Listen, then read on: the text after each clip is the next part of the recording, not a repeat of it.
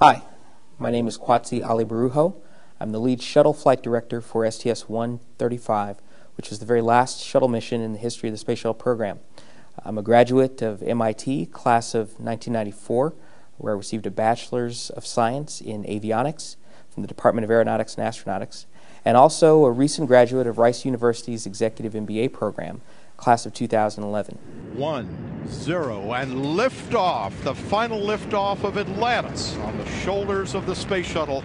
America will continue the dream. I came to NASA to be a flight controller. I got to be a flight controller to do uh, a job that only a handful of people in the world have ever been able to do or qualified to do. Had the honor of being selected as a flight director, which uh, is, is, an, is an even more exclusive group you know, flew six shuttle missions as a flight director, two of, two of them as lead flight director.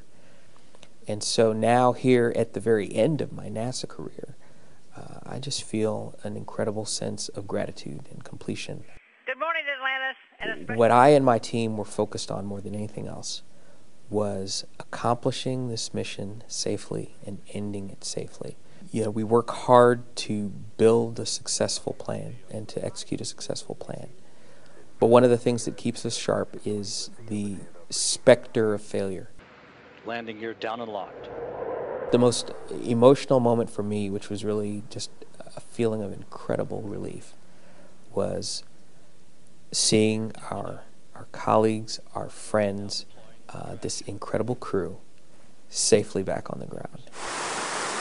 I very much viewed the MBA from Rice as uh, an excellent set of tools to add to the toolbox, uh, to add to my portfolio of skills. I felt very, very fortunate to have uh, an institution of the caliber of Rice University here in the city so that you know I actually could make an executive MBA program work for me while still while still being a flight director. Right before we uh, we launched, I was um, uh, recruited for and selected uh, for an executive position with Hamilton Sundstrand Corporation. On the back end of it, uh, we were able to have a successful placement in an industry that I'm familiar with, uh, where I can now start to leverage a different set of skills uh, to to apply my, my leadership capabilities to uh, you know private enterprise.